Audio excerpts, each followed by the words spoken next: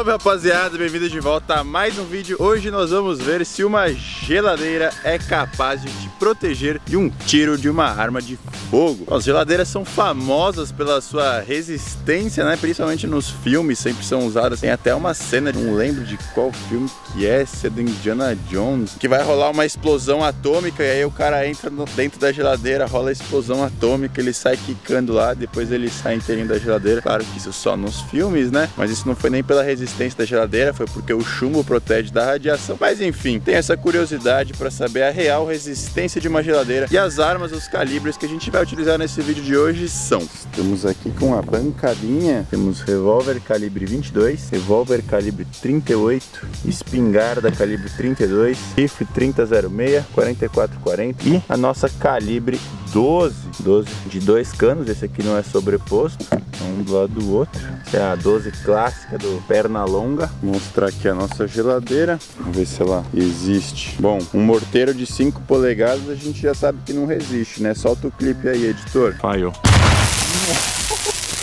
Caralho, deixa eu parar a câmera.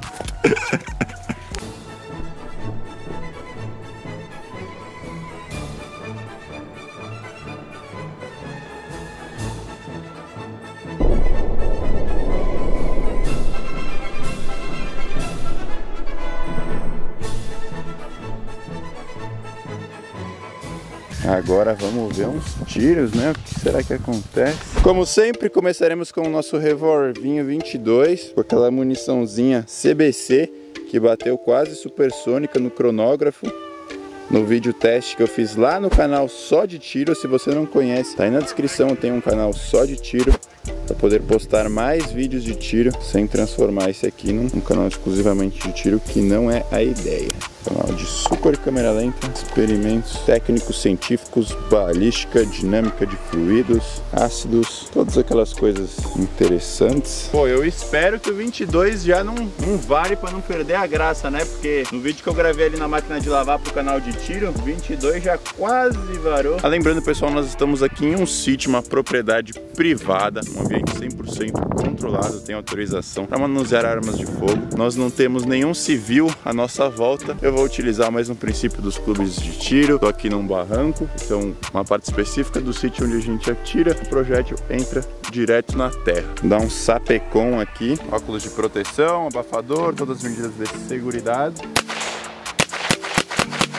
O que passou? Ó, oh, curti as marquinhas na, na porta. Ó, já saiu aqui, ó, tá vendo? Ainda bateu ali. Olha só, só uma entrou aqui na fibra de vidro. Não, Todos entraram na real. Entrou, entrou, entrou. Tem nenhum resquício de projétil aqui embaixo. Vamos rezar para que não tenha saído. Nossa, varou já. Ou seja, a geladeira é mais fraca do que a máquina de lavar. A máquina de lavar ainda te protegeria desse 22zinho. Já uma geladeira, meu amigo, hum, hum, eu já tinha ido pro saco. Eu já esperava que não fosse resistir tudo, porque o chumbo é um metal maleável, né? Um dos mais maleáveis que tem. Você consegue dobrar ele com a mão. Agora eu não imaginava que o primeiro tiro já ia atravessar. Nossa, tive uma ideia legal, hein? Colocar umas coisas assim, ó, aqui dentro da geladeira, na prateleira. Vou arrumar uma prateleira, eu faço uma. E dar uns tiros pela lateral, assim, pra atravessar e estourar coisa dentro da geladeira. Ia ficar louco, hein? Que é adaptabilidade absurda. Só antes de fazer essa ideia maluca, vamos tirar com as coisas que a gente tem Vamos ver na câmera lenta.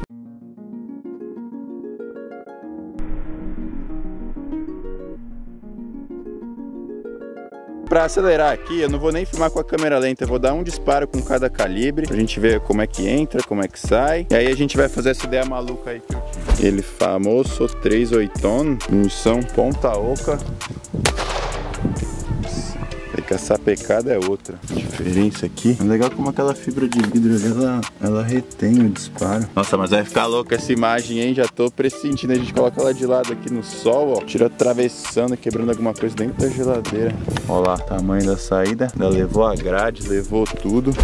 Próxima espingardinha calibre 32. Esse ficaria legal na câmera lenta, mas eu vou filmar a 12, que é a versão potencializada, né? Fechar um pouco a imagem aqui. Vou atirar com o modo Rambo com balinha. Pô, podia ser liberado umas armas full alto no Brasil, né? Uma metralhada assim, teria arrebentado os ovos aqui. Ele chegou a bater nessa portinha. O deve estar tá tudo ali. Mas olha só como é fininho esse, esse chumbo. Só de dar uma bica já deve dar um amassado nervoso. Não era a intenção de eu Agora uma das minhas armas preferidas de tudo que a gente tem aqui hoje, 4440, vou até colocar alguns disparos.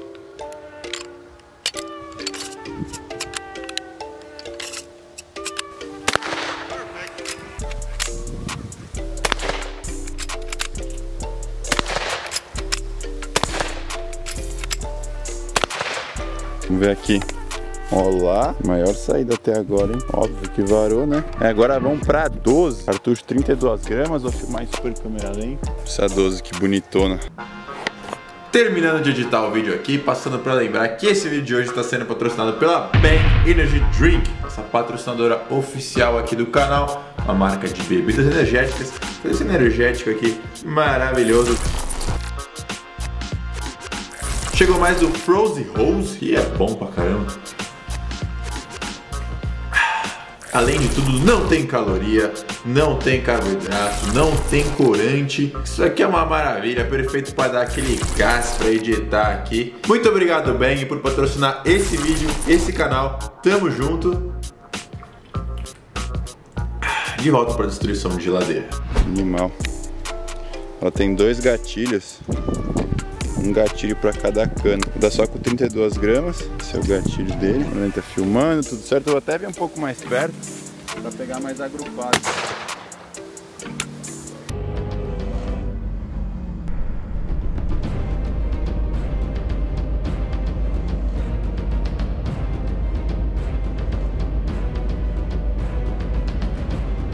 Nossa, eu já vi ali na super câmera lenta, quase derruba a geladeira o impacto. Dá uma mexida assim pra trás. É, foi bem maior que o buraco do 32. Olha só a rasgada, pegou bem aqui na essa parte que tem bem mais plástico, mas mesmo assim veio levando, rasgando tudo. Poucas, ainda entrou no freezer aqui, ó. O ainda saiu um chumbinho, hein? Não saiu, mas foi quase, viu? Ainda acertou no freezer, em várias partes, com muito mais coisa. Se fizesse um balote improvisado, atravessava. Bom, eita. não temos mais porta. Também não ia mais precisar, tem só o 3006 agora, mas eu já vou fazer o nosso teste especialíssimo. Como é que a gente vai fazer aqui agora? Só preciso achar uns alvos legais para colocar ali, que eu não estava preparado para esse tipo de cena. A gente coloca eles ali, eu tento acertar através da geladeira, a gente pega com a câmera lenta aqui de lado, assim ó, de frente, né? De lado eu me refiro à incidência do disparo. Vou procurar alguma coisa ali.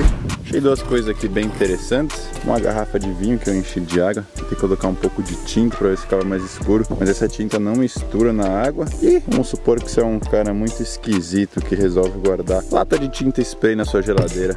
Vamos ver o que aconteceria. Preparei aqui a nossa bancada, né? Já que a geladeira está sem. Agora a única coisa que eu preciso é de uma noção básica de onde eu vou ter que mirar para acertar isso, né? Mais a noção mesmo. Tá nessa linha. Vamos lá, agora é a 06, hein? Queria uma longa distância, mas eu não tenho ninguém para parar a câmera lenta aqui. Baita rifle com uma luneta Swarovski. Tem que atirar de perto. Bicha linda.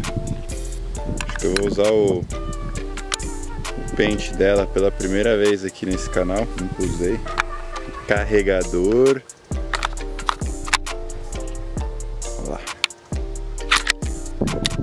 Are you ready, kids? Espera aí que eu vou fazer uma marca melhor para eu acertar. Pronto, agora sim eu tenho uma referência para tirar. Ah, moleque. Eu vi que eu acertei quando eu já vi pedacinho de vidro voando pra frente ali na parede. Entrada. Garrafa toda esbugalhada. No! Olha a saída. Caralho, não é brincadeira não, meu irmão. Vamos assistir aqui.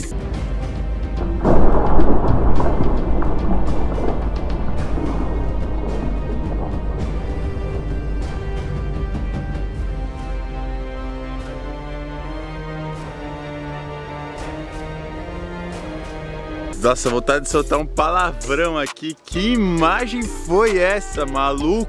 Que da hora. Meu, foi exatamente como eu visualizei na minha mente. Eu não poderia imaginar coisa melhor. Obrigado, Senhor, por ter me dado um insight de tirar a câmera lenta de perto. Vocês viram o tanto de vidro e água que voou ali pra fora? Ô, Rafa, coloca na edição bem devagar, frame por frame. Dá pra ver no impacto da geladeira, o projétil faz uma faísca e quando o projétil bate no vidro, faz uma faísca também. Esse eu posso afirmar que desfragmentou. Hum, você não consegue encontrar um micro pedaço dessa garrafa. Vamos fazer no, no da latinha de tinta agora, com certeza vai ficar bem legal também. Arrisco dizer que foi uma das que eu mais curti na história desse canal. Nossa, eu vou deixar a câmera lenta aqui mesmo, vou ter que correr um pouco para parar ela. Pô, se essa lata sai girando aí, eu acho que o impacto vai ser tão forte que vai explodir ela, não vai ter giro não. Ah, eu dei esse disparo com essa ponta aqui, ó, de 180 grains. Mas acho que é muita ignorância. Eu vou dar com essa de 150. Já vai ser mais do que suficiente. Os próximos vídeos que eu vou gravar aqui ainda hoje, vamos construir uma parede, concreto e tijolo, tirando uma parede. E o outro eu comprei umas 30 dessas latas de tinta colorida. Vamos fazer uma, uma porrada de teste. Sai tudo em breve, não sei em qual dos dois canais, se nesse ou se no de tiro. Provavelmente vai um para cada um. Se inscreve lá no de tiro se você não está inscrito. Let's go, boys!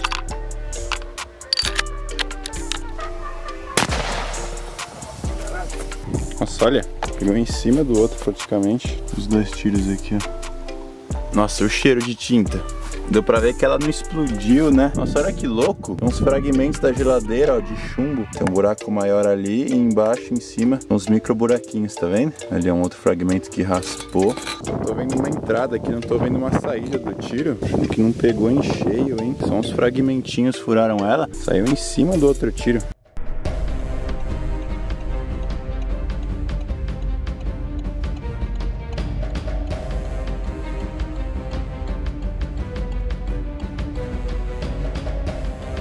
Aí, tá sobrando luz, tá sobrando munição, tá sobrando garrafa de vidro.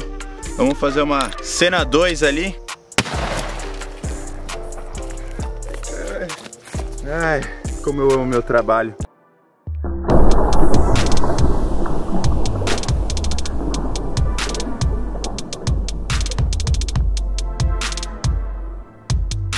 Agora sim, esse foi o vídeo de hoje. Tá aqui um vídeo que o YouTube acho que você deveria assistir. Tamo junto, até a próxima. Valeu, fui!